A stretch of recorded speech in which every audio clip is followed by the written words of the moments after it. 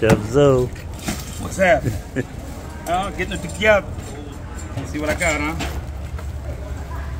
Smoked chicken. I got my Cajun Nation seasoned chicken breast. Got three different sausages. Got some more chicken if I decide to cook it all.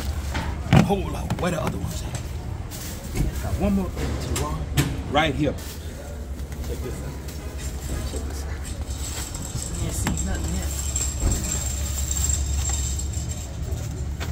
Pochets.